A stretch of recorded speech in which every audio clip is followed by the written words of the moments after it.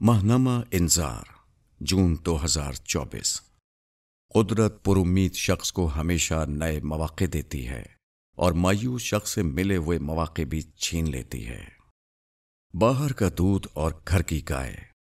मगरबी अकदार के दिलदादा किसी शख्स ने कभी कहा था कि जब रोज़ाना ताज़ा दूध बाज़ार से मिल जाता हो तो घर में एक गाय लाकर बांधने और उसका गोबर साफ़ करने का झंझट पालने की क्या ज़रूरत है? इस बलीग तमसील से मुराद ये थी कि एक खातून को ब्याह कर घर में लाने के रिवाज से कहीं बेहतर है कि आज़ाद जिनसी ताल्लुक से इंसान अपनी ज़रूरत पूरी करे और उन जिम्मेदारियों में न पड़े जो जवानी का मज़ा किरकिरा कर देती हैं।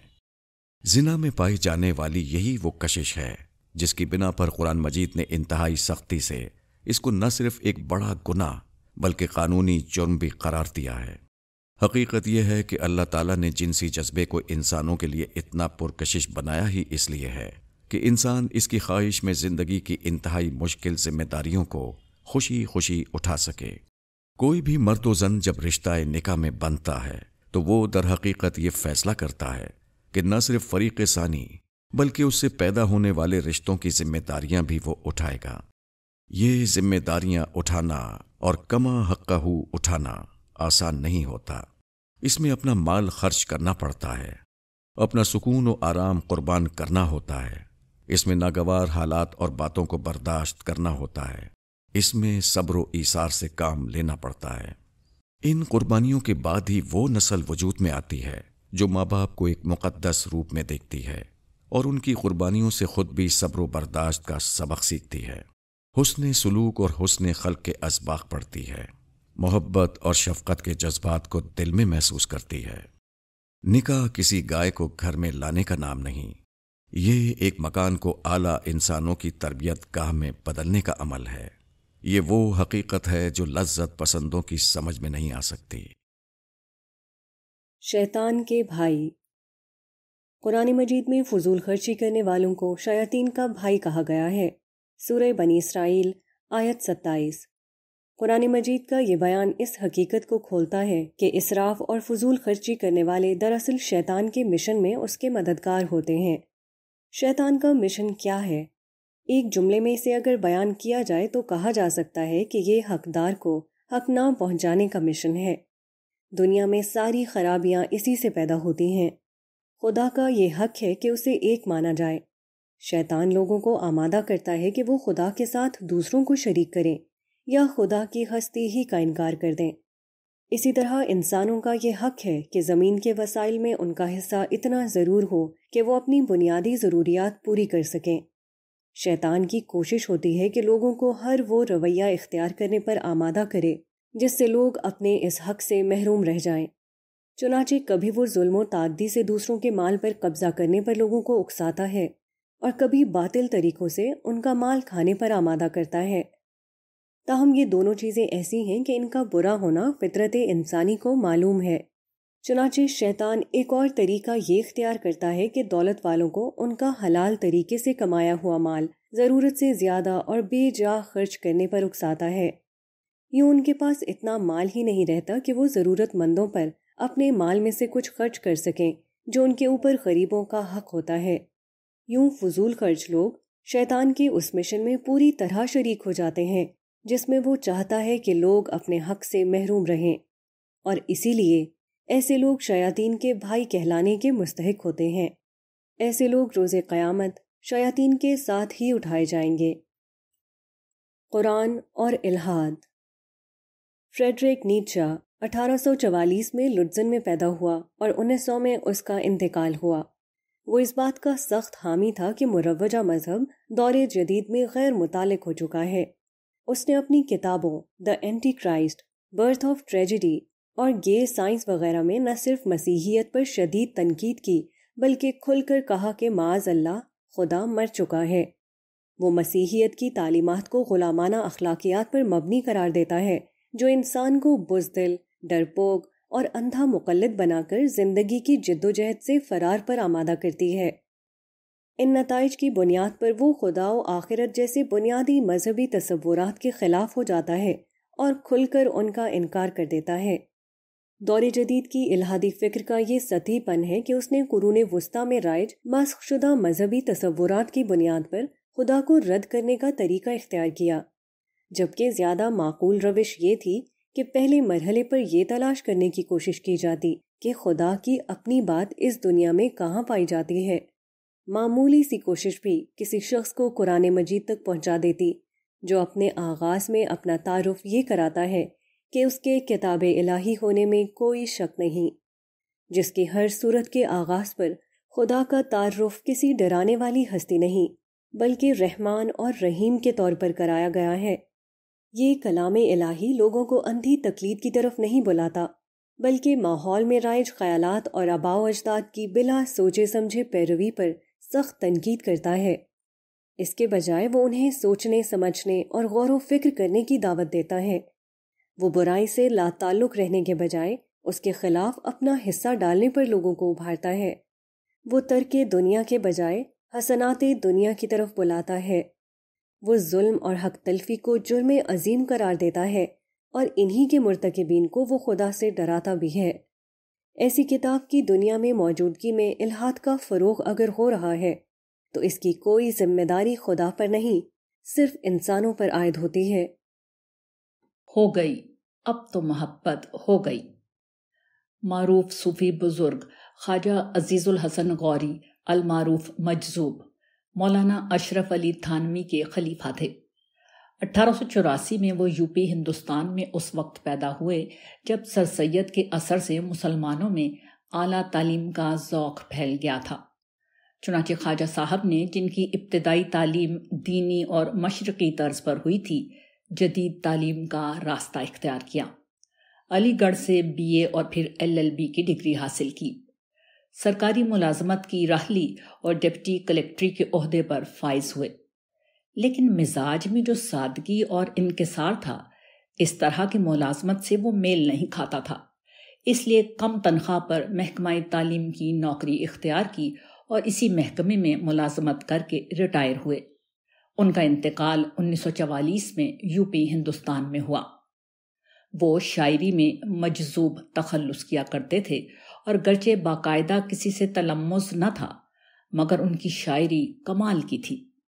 उनकी शायरी में तसव्वुफ के रंग और दुनिया की बेवकती के मजामी बकसरत मिलते हैं। एक दिन मरना है, आखिर मौत है। कर ले जो करना है, आखिर मौत है। जगह जी लगाने की दुनिया नहीं है, ये इबरत की जा है, तमाशा नहीं है। और हमें क्या जो तुरबत पर मेले रहेंगे? तहे खाक हम तो अकेले रहेंगे।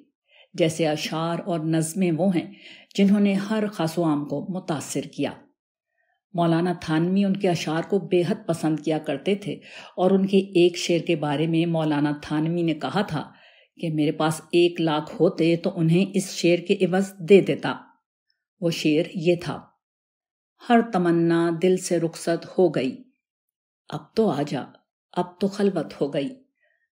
ये उनकी मशहूर गज़ल है जिसका एक और शेर इस तरह है, लाख झिड़को अब नहीं फिरता है दिल। हो गई, अब तो मोहब्बत हो गई। शायरी मजाज के उसलूब में की जाती है और इस गज़ल में भी ये रंग नुमाया है। मगर मजाज के पर्दे में अहले दिल का मामला अपने रब ही से होता है। इस शेर में भी शायर ने इसी उसलूब में खुदा से अपने ताल्लुक और मोहब्बत को कमाल दर्जे की खूबसूरती के साथ बांधा है कि जिस तरह मजाजी महबूब गुस्से और नाराज़ी का इजहार करे तब सच्चा आशिक अपनी मोहब्बत से बाज नहीं आता। इसी तरह जिसे खुदा से मोहब्बत का ताल्लुक हो जाए, वो खुदा की तरफ़ से बज़ाहिर बेतनाई के बावजूद भी अपनी मोहब्बत पर कायम रहता है। हकीकत यह है कि खुदा किसी को नहीं झड़कता, मगर ज़िंदगी में जो मसाइब आलाम, दुख और परेशानियाँ, मायूसियाँ और नाकामियाँ इंसान के हिस्से में आती हैं वो बज़ाहिर अल्लाह ताला की नाराज़ी का एक इजहार होती हैं, या कम अज़ कम उसकी बेतनाई का इशारा होती हैं। बहुत से लोग ऐसे हालात में अल्लाह ताला से दूर हो जाते हैं। मगर किसी शख्स का ईमान ज़िंदा, जौक, सलामत और ताल्लुक़ मज़बूत हो तो वो इन मसाइब में पोशीदा हमतों को देख लेता है। वो महरूमी में अता का परवाना पा लेता है। वो दुख में सुख की नवीद हजन में मसरत का नगमा और मुश्किलात में फरिश्तों का कलाम सकीनत सुन लेता है। कुरान मजीद में सुरह कहफ में अल्लाह ताला ने इस हिकमत को खुद खोला है कि किस तरह वो बाज़ात अच्छों के साथ बुरा और बुरों के साथ अच्छा इसलिए होने देते हैं कि वो अच्छों को किसी बुराई और मुसीबत से बचाना चाहते हैं। साथ में इस तरह उनकी तरबियत करके उन्हें आखिरत के बड़े अजर का भी हकदार बनाते हैं। इसीलिए बंदाए मोमिन, बदतरीन हालात में भी मायूस होकर खुदा से दिल बर्दाश्ता होने के बजाय ऐसे हालात में उसकी मोहब्बत का दम भरता है। भावल नगर का वाकया और हमारा असल मसला। ईद के सिरे पर भावल नगर में जो वाकया पेश आया, उस पर आला सतह पर इंक्वायरी हो रही है। वाकये की नौयत और सबका रिवायत की रोशनी में उम्मीद यही है कि इस पूरे मामले का फैसला अल्लाह ताला पर छोड़ दिया जाएगा कि रोज़े क़यामत जब वो तमाम लोगों का हिसाब किताब लें तो इस मामले का भी फैसला कर दें। इसके सिवा अगर कोई रिपोर्ट सामने आई तो वो कुछ इस नौयत की होगी कि ईद से कबल पुलिस नाका लगाकर अवाम को ईद की मुबारकबाद दे रही थी। इस दौरान में एक मोटरसाइकिल सवार जो अवाम को पिस्तौल का तमाशा दिखाकर ईद की खुशियों में शरीक करने निकला था, पुलिस के हाथ लग गया। उसके ज़रिए से पुलिस एक ऐसे घर तक पहुँच गई, जहाँ वो ईद की खुशियों का मज़ा दोबाला कर सकती थी। उस घर में अवाम के साथ कुछ खास लोग भी मौजूद थे। उन्होंने पुलिस की ईदी की फरमाइश पर उनकी खातिर तवाजो करने के लिए उन्हें अपने घर रोक लिया। पुलिस चूँकि ऐसी खातिर मदारात की बिल्कुल आदि नहीं होती, चुनाचे उन्होंने इस इज़्ज़त अफजाई के जवाब में थाने में भरपूर ईद मिलन पार्टी करने का फैसला कर लिया। चुनाचे मजीद पुलिस फोर्स बुलवाई गई। और थाना ले जाकर घर वालों को वो जवाबी खातिर तवाजो की गई, जो पुलिस की रिवायत के एन मुताबिक थी। इसके जवाब में खवास की तरफ़ से जबानी कलामी पुलिस के आला अफसरान को ईद की मुबारक दी गई। पुलिस के अफसर व जवान चूँकि नीचे से ऊपर तक मिलकर ईद मनाते, बल्कि सारा साल मिलकर खुशियाँ बांटते और समेटते हैं। इसलिए उनका ख्याल था कि अपने जूनियर्स को रस्मी तौर पर यह ईद मुबारक मुंतकिल कर दी जाए। मगर ये रस्मी ईद मुबारक देना ज़ाहिर है कि ईद मिलन पार्टी के मुकाबले में बहुत कम था और एक तरह से मिट्टी पाओ नौयत की चीज़ थी, जिसके बाद खवास की तरफ़ से यह फैसला हुआ कि थाने में जाकर न सिर्फ़ मुतल लोगों को खुद ईद मुबारक कहा जाए, बल्कि साथ में भरपूर ईदी भी दी जाए। चुनाचे ये मामला ईद की मोहब्बतों के तबादले का था और कुछ न था। कत नज़र इसके कि इंक्वायरी में क्या सामने आता और क्या नहीं आता, ये वाकया एक बेहतरीन रेफरेंस पॉइंट है। जिसको सामने रखकर हम ये समझ सकते हैं कि हमारे माशरे के असल मसाइल क्या हैं और हम किन चीज़ों में उलझे हुए हैं। आमतौर पर यह समझा जाता है कि माशी बहरान और सियासी बेयकीनी हमारे असल मसाइल हैं। मगर इस वाक़े ने बता दिया है कि पाकिस्तान के अहम बुनियादी मसाइल में से एक कानून की बालादस्ती कायम करना और हर ताकतवर को कानून के तहत रखना है। सरदस्त पाकिस्तान के कानून का एक ही मकसद है। कि कमज़ोरों को किस तरह दबाया जाए और किस तरह उन्हें जलील और रसवा किया जाए। जब तक कानून हज़रत अबू बकर के अल्फाज के मुताबिक उस जगह नहीं आ जाता कि तुम्हारा कमज़ोर शख्स मेरे नज़दीक कवि है, जब तक मैं उसका हक न दिला दूँ और तुम्हारा कवि मेरे नज़दीक कमज़ोर है, जब तक उसके जिम्मे जो हक है, वो उससे न ले लूँ। हमारा माशरा दायरों से निकलकर आगे की समत अपना सफ़र नहीं तय कर सकता। ताहम कानून की बालादस्ती एक दिन में कायम नहीं हो सकती। इसके लिए तरबियत के मुसलसल अमल की ज़रूरत है। इसके लिए निसाब तालीम में कानून और आइन की पासदारी को बुनियादी इंसानी औसाफ के तौर पर शामिल करना ज़रूरी है। इसके लिए हर फर्द का ये अज़्म करना ज़रूरी है कि वो अपनी आखिरत के लिए कानून की पासदारी करेगा। हमने आज ये अमल शुरू कर दिया तो आने वाले अशरों में हम आगे बढ़ जाएँगे। वरना इस माशी बहरान से निकल भी गए तो चंद बरस बाद फिर किसी बहरान का शिकार होंगे। सवालो जवाब, जेर नाफ बाल साफ़ करने की हिकमत। सवाल असलकुम मेरा सवाल है कि बगलों के बाल तो समझ में आता है कि क्यों साफ़ करने चाहिए, लेकिन जेर नाफ बाल साफ़ करने की क्या हिकमत है? मुझे आज तक इसकी समझ नहीं आई। जजाक अल्लाह खैरा। जवाब वालेकुम अस्सलाम। अल्लाह ताला ने इंसान को ऐसी कई चीज़ें अता की हैं जो जानवरों के पास नहीं हैं।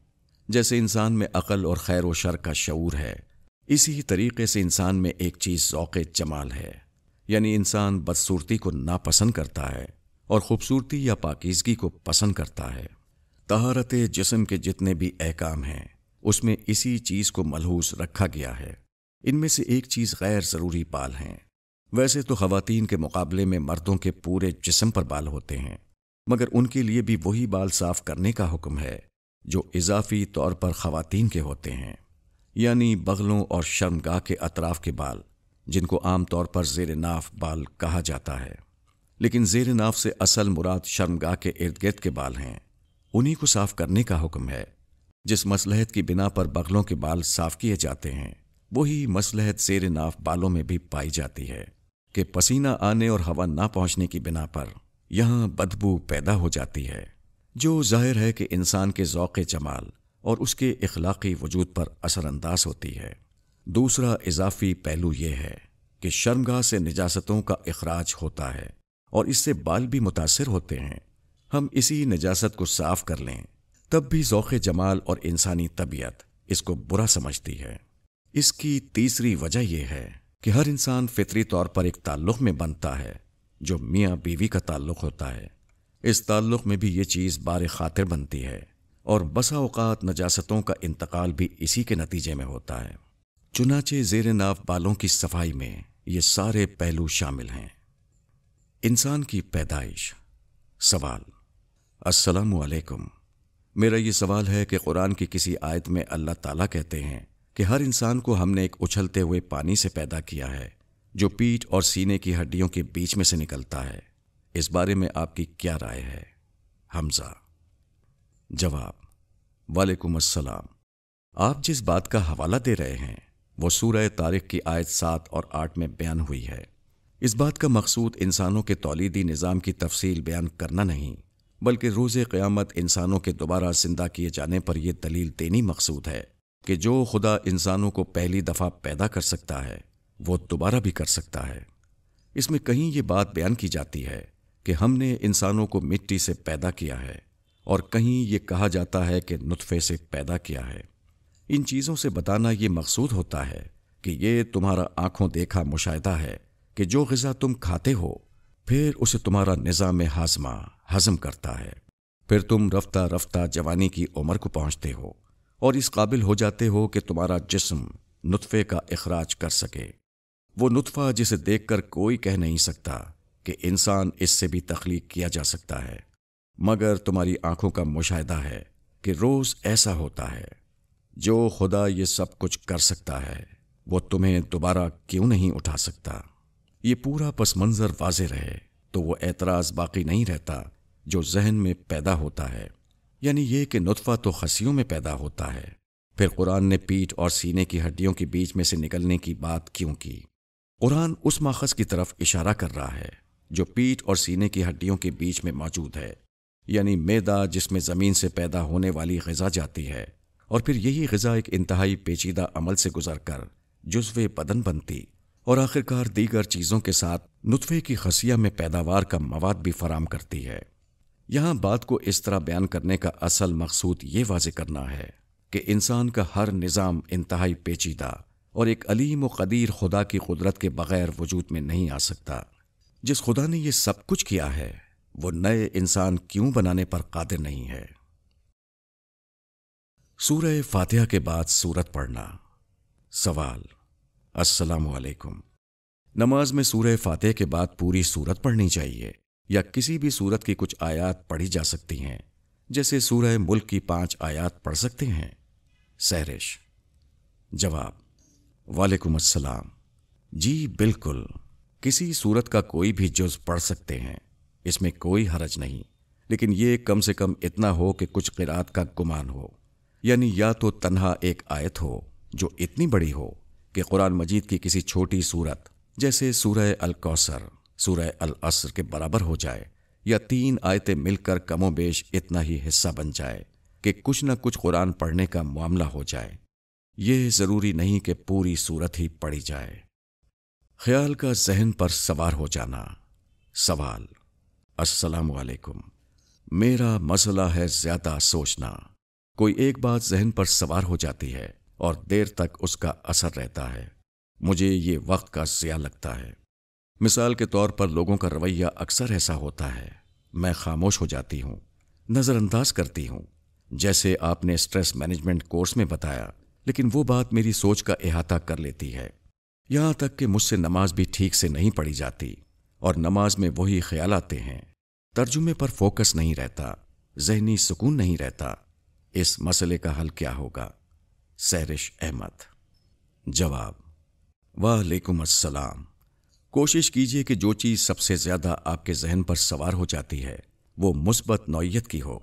मिसाल के तौर पर खुदा की याद इतनी ज़्यादा आप पर गालिब हो जाए कि बाकी चीज़ें गैर अहम हो जाएँ। इसी तरह एहसास नेमत में ज़िंदा रहना भी इसी मुस्बत सोच की एक मिसाल है। इसके लिए मेहनत करनी चाहिए। ये चीज़ मेहनत से हासिल होती है और एक बार ये हासिल हो जाए तो इस तरह के तमाम मसाइल से जान छूट जाती है।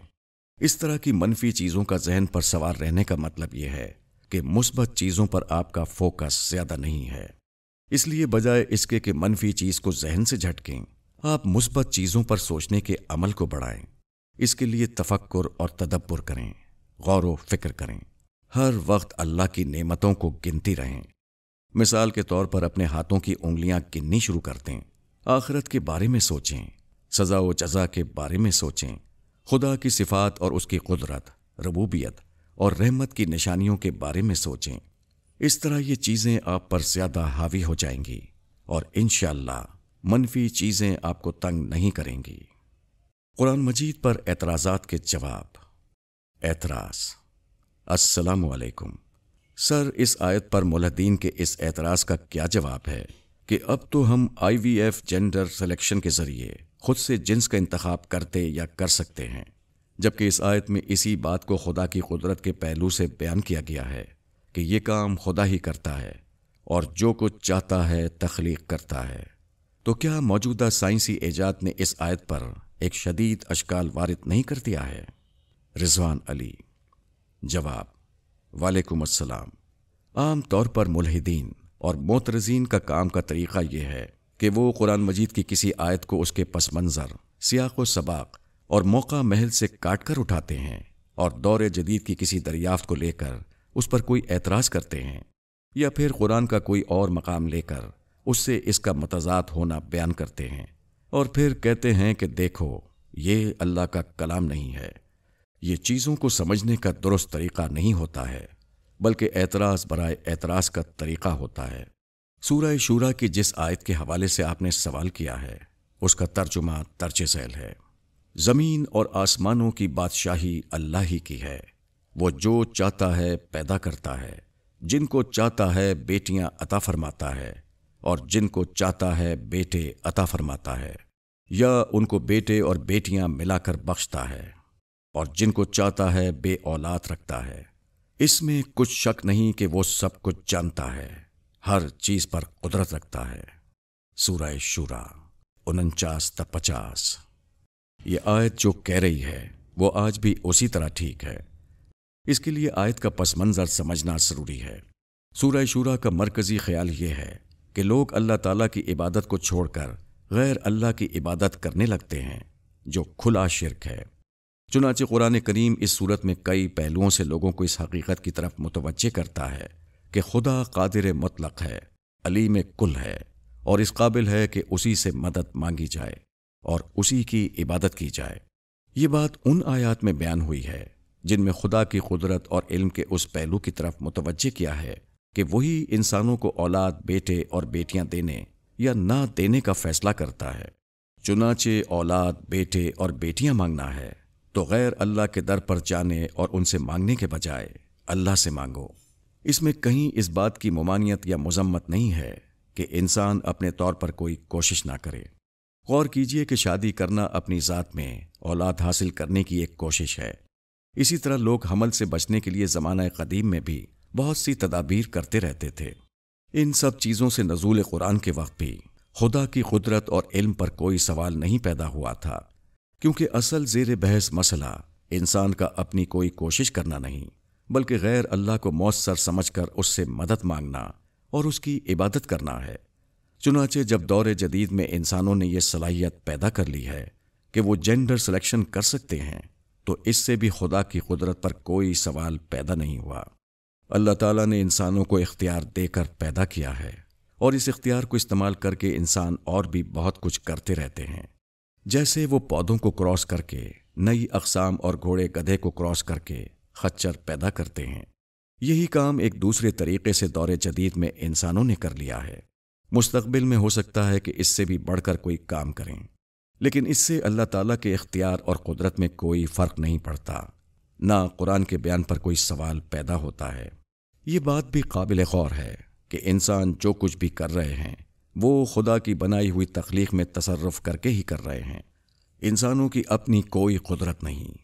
इंसान खुदा के कब्ज़ा कुदरत से कभी बाहर नहीं निकल सकते। खुदा हर हाल में इंसान और तमाम मखलूक पर गालिब है और वो इस कब्ज़ा कुदरत से कहीं बाहर नहीं जा सकते।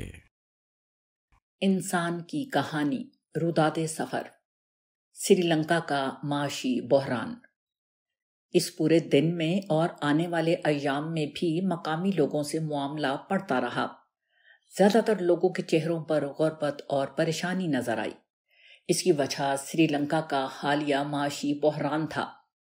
यह अजीब इत्तेफाक था कि हम इंसान की कहानी के पहले सीज़न में जिन दो मुल्कों में शूटिंग के लिए गए, यानी श्रीलंका और तुर्की, दोनों ही पाकिस्तान की तरह बदतरीन माशी बहरान से गुजर रहे हैं। तुर्की पर तबसरा तो वहाँ के बयान सफ़र में होगा, मगर श्रीलंका का मामला यहीं जेर बहस आ रहा है जो पाकिस्तान और तुर्की के मुकाबले में सबसे शदीद बहरान से गुजरा। श्रीलंका पहले ही से कोई बहुत अमीर मुल्क न था।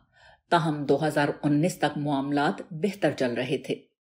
मगर श्रीलंका में जब नई हुकूमत बरसरे इकतदार आई तो उसने टैक्सों में कमी कर दी। एक ऐसा मुल्क जो पहले ही मालियाती और तिजारती खसारे का शिकार था, उसके लिए अवाम को इस तरह खुश करने वाली पॉलिसी अच्छी न थी। ये बात फिर भी चल जाती, मगर फिर कुछ वाकयात ऐसे हुए, जिन्होंने सूरत हाल मजीद खराब कर दी। एक तो 2019 में ईस्टर के दिन श्रीलंका में जो बम धमाके हुए, उसके बाद मगरबी टूरिस्ट यहाँ आना बहुत कम हो गए। इसके बाद कोविड ने भी श्रीलंका की मीशत को इस पहलू से मुतासर किया कि रहा सहा टूरिज़्म भी खत्म हो गया और बैरून मुल्क काम करने वाले बहुत से श्रीलंकन वापस वतन लौट आए।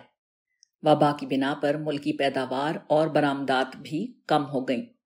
इस पर मुस्तजाद हुकूमत का ये फैसला कि ज़रात में ऑर्गेनिक इनकलाब लाने के लिए कीमियाई खाद की दरामद पर पाबंदी से ज़रिए पैदावार एकदम से बहुत कम हो गई। रूस और यूक्रेन की जंग ने भी श्रीलंका को बहुत मुतासर किया, क्योंकि दोनों मुल्कों से यहाँ सयाह भी आते थे और वहाँ से ज़रूरी दरामदाद भी की जाती थी, जो बहुत महँगी हो गई। यूँ रफ्ता रफ्ता तिजारती खसारा बहुत बढ़ गया? कर्जों की अदायगी के लिए रिजर्व्स न रहे। खुराक, पेट्रोल और दवाओं की किल्लत हो गई। आखिरकार मुल्क डिफ़ॉल्ट हो गया। बुनियादी अशियाई ज़रूरत न मिलने से मुल्क में हंगामे फूट पड़े। हम इस सूरत हाल के एक बरस बाद श्रीलंका पहुँचे थे। उस वक्त मुल्क बतदरीज इस माशी तूफ़ान से निकलने की कोशिश कर रहा था। अब अशियाई ज़रूरत की किल्लत या लोड शेडिंग वगैरह तो ना थी, मगर हर चीज़ बहुत ज़्यादा महँगी हो चुकी है। किसी माशी बहरान पर माहरीन लाख लेक्चर्स दे दें, आम आदमी के लिए इसका मतलब एक ही होता है कि हर चीज़ इंतहाई महँगी हो जाती है, जिसके बाद वो चीज़ों का इस्तेमाल बहुत कम कर देता है या खत्म कर देता है। यही श्रीलंका में हुआ, यही तुर्की में देखा और यही हम सब पाकिस्तान में देख रहे हैं। ताहम बुनियादी सबक ये था कि इस तरह के सारे मसाइल हुक्मरानों की इस गलत पॉलिसी से शुरू होते हैं कि वो तिजारती तवाजुन को अपने हक में करने की मनसूबाबंदी नहीं करते, जिससे मालियाती खसारा कम हो जाए। इसके बजाय वो फौरी तौर पर आवाम को कुछ फ़ायदा पहुंचाकर मकबूलियत हासिल करने की कोशिश में आखिरकार उन्हें ज़्यादा बड़ी मुश्किल में डाल देते हैं। पाकिस्तान और श्रीलंका का तकाबुल श्रीलंका आने से कबल पाकिस्तान में मुसलसल श्रीलंका का तस्करा इस पहलू से सुनते आए थे कि अनकरीब पाकिस्तान श्रीलंका की तरह डिफ़ॉल्ट कर जाएगा और फिर बुनियादी ज़रूरियात ज़िंदगी का हसूल भी लोगों के लिए एक क़यामत बन जाएगा। अल्लाह ने करम किया कि पाकिस्तान डिफ़ॉल्ट नहीं हुआ, मगर महँगाई ने लोगों की कमर तोड़ डाली। श्रीलंका पहुँचे तो इस बात से कुछ सुकून मिला कि दुनिया में कोई मुल्क ऐसा ज़रूर है जिसकी करेंसी हमसे भी ज़्यादा डिवैल्यू है। मगर श्रीलंका में इतनी ज़्यादा महँगाई थी कि पाकिस्तानी करेंसी का कुछ ज़्यादा होना काम नहीं आया। और जो ज़रूरत की चीज़ें खरीदी, वो कुछ महँगी ही मिली। माशी तौर पर गर्चे दोनों मुल्क इस वक्त एक ही जगह खड़े हैं। मगर दरअसल, पाकिस्तान के पास जितने ज़्यादा वसाइल हैं, उस लिहाज से हम अमली तौर पर श्रीलंका से बहुत पीछे हैं। इससे हटकर इंसानी शूर की तरक्की के लिहाज से तो साफ़ लगता है कि श्रीलंका पाकिस्तान से बहुत आगे जा चुका है। पहला साफ़ और नुमाया फ़र्क जो हर जगह नज़र आया, वो सफ़ाई, सुथराई और कानून की पासदारी का फ़र्क था। मिसाल के तौर पर ट्रैफ़िक में हमने हर जगह यही देखा कि स्कूटर के आगे बैठे हुए शख्स के साथ साथ पीछे बैठे हुए हर मर्दो खातून ने भी हेलमेट पहन रखा था। इस चीज़ को तो लोग कानून की सख्ती के खाते में डाल सकते हैं, मगर हमें कहीं पर भी कोई कचरा नज़र न आया। हती कि पूरे सफ़र में हमारे पास जो वैन थी उसके ड्राइवर का ये मामूल था कि वो गाड़ी को मुकम्मल तौर पर साफ़ रखता। हम कुछ खाते पीते थे तो जो कुछ कचरा वजूद में आता, वो उसे एक थैली में डालकर फ़ौरन गाड़ी की सफ़ाई कर देता था। ये तो मेरे अपने मुशाहिदात थे, मगर इस सफ़रनामे को तहरीर करते हुए अकवा मुतहदा की वो रिपोर्ट नज़र से गुजरी, जो मुख्तलिफ़ ममालिक में इंसानी तरक्की, यानी ह्यूमन डेवलपमेंट के हवाले से थी। उसमें मगरबी ममालिक से तो हम अपना मुवजना क्या करें? जनूबी एशिया में भी पाकिस्तान सबसे नीचे है। पाकिस्तान का नंबर एक सौ चौंसठ, इंडिया एक सौ चौंतीस, बांग्लादेश एक सौ उनतीस और श्रीलंका का नंबर अठहत्तर है। इस फहरिस्त में एक सौ तिरानवे ममालिक हैं और पाकिस्तान से नीचे सिर्फ़ गरीब तरीन अफ्रीकी ममालिक हैं, या सिवाय जंग से तबाह हाल अफ़गानिस्तान और यमन के, जो एशिया में वाक़ हैं। इस रिपोर्ट में तरक्की का मैार सह निकाती ये है कि लोगों के पास तालीम कितनी है, उनकी क़वत ख़रीद कितनी है और मुतव ज़िंदगी क्या है। ये तीन चीज़ें, गोया तालीम, माशी खुशहाली और सेहत की सहूलियात नापने का पैमाना है।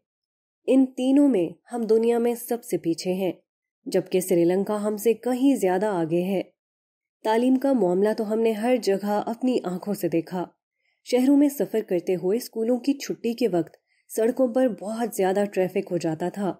इसकी वजह ये थी कि तमाम बच्चे तालीम हासिल करते थे और स्कूल की छुट्टी के वक्त उनके घर आने जाने और लाने ले जाने के सिलसिले की वजह से ट्रैफ़िक फितरी तौर पर आहिस्ता हो जाता था। तालीम का ये जौक आदादो शुमार से भी वाजे है। श्रीलंका में शरह ख्वानदगी बानवे फ़ीसद से ऊपर है। पाकिस्तान की तरह इसका मतलब अपना नाम लिखना आना नहीं। बल्कि रोज़मर्रा ज़िंदगी से मुतालिक कोई जुमला लिखने और पढ़ने की सलाहियत है। टीम की आमद और शूटिंग का आगाज़। मगरिब के वक्त हमारी टीम सिगरिया पहुँच गई। अहमद साहब के साथ इमरान और मोहसिन भी थे। ये लोग मुसलसल सफ़र की वजह से थके हुए थे, इसलिए खाना खाते ही आराम के लिए चले गए। एक दूसरी गाड़ी में तरंगा अपनी टीम समेत पहुँचे थे। उनकी टीम में मौजूद अफराद की तादाद देखकर मैं परेशान हो गया। ये गालिबन आठ दस लोग थे। एक दो लोग तो टेक्निकल स्टाफ पर मुश्तमिल अमला था, जिसने हमारी प्रोडक्शन टीम की मदद करनी थी। मगर इसके अलावा बाकी लोग श्रीलंका की मुख्तलिफ़ वजारतों से थे। जिनका काम ये देखना था कि शूटिंग श्रीलंका के कवानीन के मुताबिक हो रही है या नहीं। ये लोग पूरे सफ़र में हर जगह साथ रहे। इनकी रिहाइश और खाने पीने की ज़िम्मेदारी तरंगा के सर थी।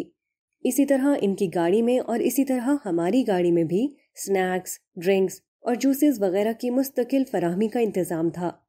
हमारा ध्यान तो मुसलसल शूट पर रहता था, मगर इन लोगों के पास खाने पीने के सिवा कोई काम न था। मैं सोच रहा था कि ये हुकूमती इदारों का बिलवास्ता टैक्स है, जो इन्होंने हमारे पैसों से चार्ज किया है। ताहम उनके साथ होने से ये फ़ायदा था कि शूट में किसी भी जगह किसी तरफ़ से कोई रुकावट नहीं हुई, क्योंकि सरकार के लोग हमारे साथ थे और हमने हर जगह मुकम्मल इत्मीनान से शूटिंग की। सिगरिया का पहाड़।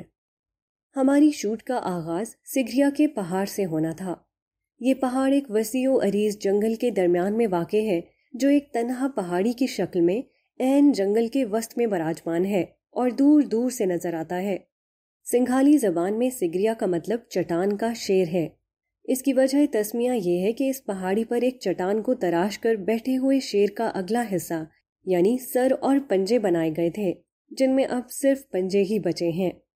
इस जगह की तारीखी हैसियत यह है कि 477 ईस्वी में एक मकामी बादशाह किशयापा ने इस पहाड़ को अपना दारुल सल्तनत बनाने का फैसला किया। बादशाह जो चाहते हैं, वो कर लेते हैं। चुनाचे बादशाह के हुक्म पर इस पहाड़ पर एक शहर बसाया गया, जिसमें महलात और बागात भी थे। साथ में शेर का ये अजीम शान मुजस्मा भी तराशा गया। मगर बादशाह मरने के बाद एक मुर्दा धड़ के सिवा कुछ नहीं रहते। चुनाचे इधर बादशाह मरा और उधर ये शहर उजड़ गया, जिसके बाद ये जगह बुद्ध पक्षियों के तसरुफ में आ गई और अब ये जगह यूनेस्को का आलमी सकाफती मरकज़ और श्रीलंका का एक अहम सियाहती मकाम है, जहाँ हर साल दस लाख के करीब लोग आते हैं। मैं इस पहाड़ पर उन्नीस सौ निन्यानवे के अपने श्रीलंका के सफ़र में भी आया था, मगर उस वक्त आतिश जवान थे। बुलंदियाँ और फासले सब बेमानी लगते थे। मगर अब इस पहाड़ पर चढ़ना एक बड़ा मरहला लग रहा था। इसकी बुलंदी 600 फुट के करीब थी और तकरीबन 1200 सीढ़ियाँ उबूर करके हमें चोटी तक पहुँचना था। मगर अल्लाह का नाम लेकर ये सफ़र शुरू किया और खुदा खुदा करके पहले हिस्से में पहुँचे, जहाँ अब शेर के पंजे बने हुए थे। यहाँ बड़ी तादाद में टूरिस्ट मौजूद थे। इस मजमे में शूट करना आसान नहीं था। मगर बहरहाल ये काम करना था। कुछ लोगों से दरखास्त करके जगह खाली कराई और फिर खुदा खुदा करके शूट मुकम्मल हुई। इस दौरान में एक टूरिस्ट खातून मुसर रही कि वो अपनी जगह नहीं छोड़ेंगी। चुनाचे उनको उनके हाल पर छोड़ दिया गया। ज़ाहिर है कि वो भी पैसे देकर यहाँ तक आई थी। इसलिए हमें ही एडजस्टमेंट करनी पड़ी। ताहम बेशतर लोगों ने खुश दिली से तावन किया।